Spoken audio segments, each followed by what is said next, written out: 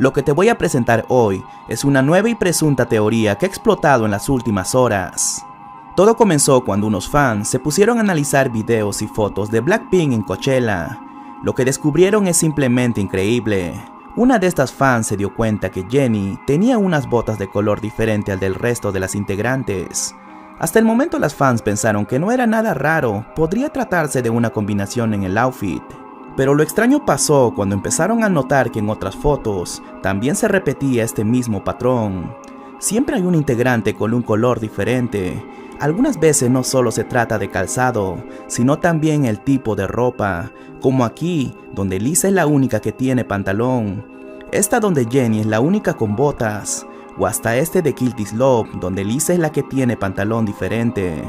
Lo más extraño es que no se trata de una integrante en especial, como para decir que ella tiene ese estilo o le gusta diferenciarse de las otras, ya que como vemos en esta foto, ahora Rosé es la que viste diferente, con botas cortas. Es decir, es como si todas se pusieran de acuerdo en que en cada presentación una tiene que vestir diferente. Los fans compartieron esto en Twitter y Reddit y rápidamente se volvió viral. Los diferentes fandoms trataron de encontrar este patrón en otros grupos femeninos. Pero no hay un caso que sea como el de Blackpink, ya que en el caso de Blackpink es siempre una sola integrante la que se diferencia de las demás. Horas más tarde, el caso se volvió aún más extraño, ya que hasta cuando revisaban presentaciones en vivo en los programas musicales, también se repetía el mismo patrón, como este, donde todas llevan calcetines blancos, pero Jisoo es la única que lleva calcetines negros.